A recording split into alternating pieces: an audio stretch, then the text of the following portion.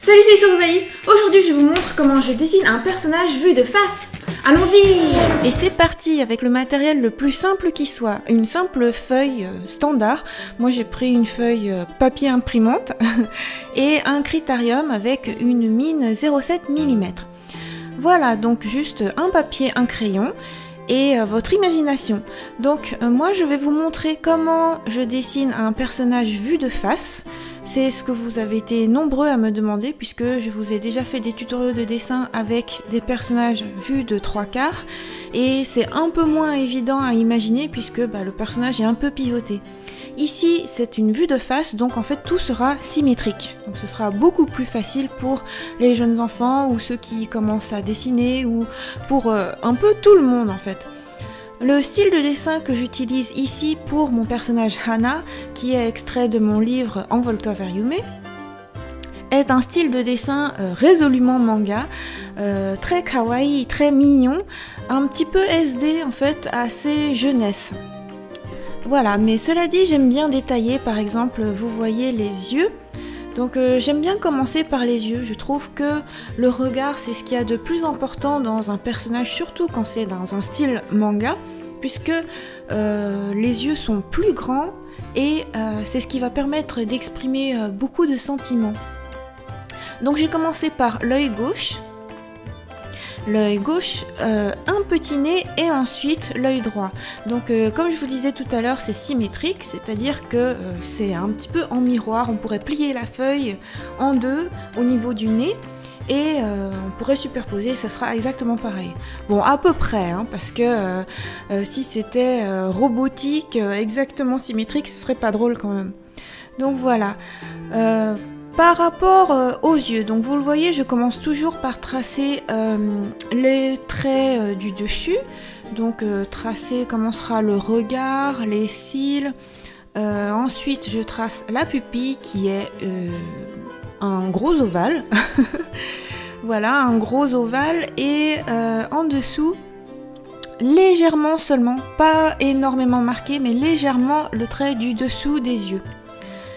Euh, j'aime bien toujours placer une grosse bulle qui euh, indique un petit peu euh, où est la lumière, où va le regard, et commencer à tracer aussi l'iris, c'est-à-dire la partie sombre au centre de la pupille. Voilà, donc je vérifie que tout ça est relativement symétrique par rapport à l'œil de gauche.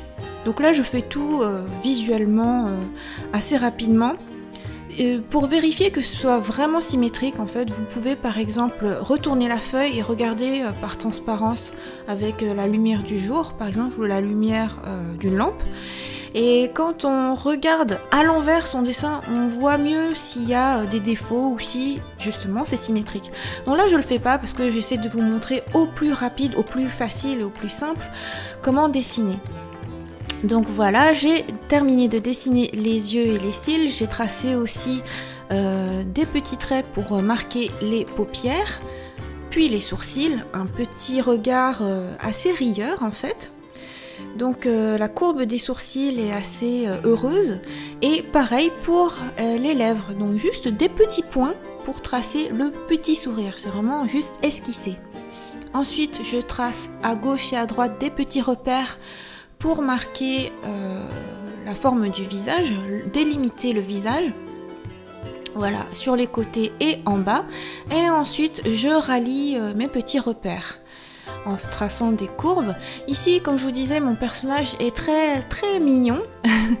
Donc euh, ce sera pas une forme de visage très pointu, marqué, rectangulaire, mais plutôt arrondi. Voilà, c'est ce qui va euh, rendre euh, son petit air poupin, euh, des petites joues qui seront trop trop trop mignonnes. voilà. J'aurais pu faire des hoppe comme pour certains SD dans des mangas, c'est-à-dire marquer encore plus les pommettes qui ressortent. Mais là, mon design est au plus simple possible. Donc c'est juste une forme de menton arrondi. On passe à mon grand plaisir, la chevelure. Pour ça, je commence par tracer la frange, parce que vous savez, je suis Miss Frange. J'ai une frange et tous mes personnages ont une frange. Mais bon, de toute manière, je trouve que de manière générale, c'est plus joli quand il y a une frange. Alors que euh, s'il y avait juste un grand front, ce serait un peu triste, non? Voilà, donc euh, là, je trace, euh, je jette des grands traits en partant du haut du front et en descendant jusqu'au regard. Voilà, sachant que ce qui entoure le visage, ce qui entoure à gauche et à droite, sera légèrement plus long que le reste. Puis je trace des petites mèches qui entourent le visage parce que euh, j'aime bien en fait quand il y a des petites mèches sur le côté plutôt que de voir juste les oreilles. j'aime bien euh, mettre des petites mèches. Voilà, et euh, des petites mèches ondulées s'il vous plaît. ça retombe naturellement sur les épaules. Voilà. Ensuite, prendre un petit peu de recul.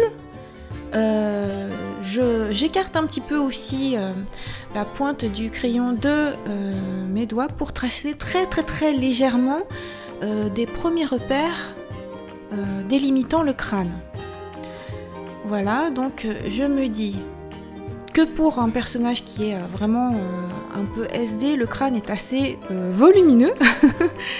Donc une fois que j'ai terminé de placer ces repères, je commence à tracer le reste, donc à descendre euh, sur le bas du crâne qui sera euh, légèrement euh, tiré, c'est-à-dire les cheveux seront tirés pour faire une queue de cheval. Et j'ai tracé aussi les petites oreilles. J'aime bien en fait cacher un peu les oreilles, je trouve que... Hmm, à moins que ce soit des elfes, je trouve pas que ce soit une partie particulièrement jolie. voilà, bon, je préfère mettre l'accent sur la chevelure. Donc, une fois que j'ai euh, tracé tout ce qui concerne le crâne et le bas de la chevelure pour euh, la queue de cheval, je me dis que ce serait pas mal que je trace un petit peu le reste du corps avant de euh, passer au reste de la chevelure longue puisque bon, il y aura peut-être des cheveux qui vont tomber devant et tout, et pour placer les volumes par rapport à la largeur des épaules, c'est plus sympa d'avoir le reste. Donc j'ai tracé un petit coup, et euh, plutôt que de faire tout le corps, euh, des repères euh, et tout, c'est plus marrant pour vous, je pense, de voir au fur et à mesure le dessin se faire. Donc je commence déjà à tracer les détails. Donc j'ai commencé par faire un col de chemise et je termine la chevelure arrière. Donc à partir de ce moment-là, ça me convient pour pouvoir tracer, euh, comme je disais tout à l'heure, le reste de la chevelure en queue de cheval.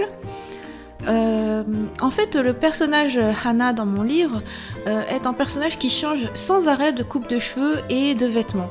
Donc il y a une thématique, une thématique globale qui est la fleur, puisque son prénom Hannah signifie fleur. Et euh, donc à chaque dessin, euh, je m'octroie la fantaisie de changer euh, sa tenue. Donc pour l'élastique de ses cheveux, j'ai décidé de faire des petites pétales. Et à partir de son gros élastique à cheveux, son chouchou, je trace le gros volume de longs cheveux arrière. Donc ça remonte joyeusement pour retomber à l'arrière de la tête.